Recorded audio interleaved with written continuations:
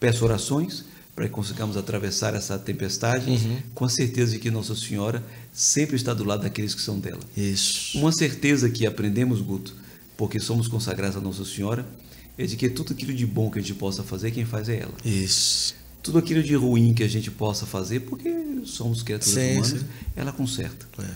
E aquilo que a gente deixa de fazer, ela completa.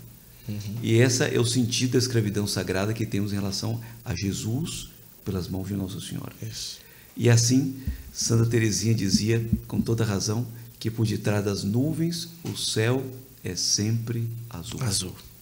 E a gente sabe que faz parte da, da vida a luta e olhando para trás das nuvens ter a certeza do que vem depois.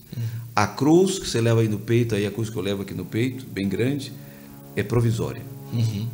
Sempre provisória. Porque o fim é a ressurreição. De Verdade. modo que vamos atravessar e quero crer que Nossa Senhora não vai passar desapercebida por esse desse momento.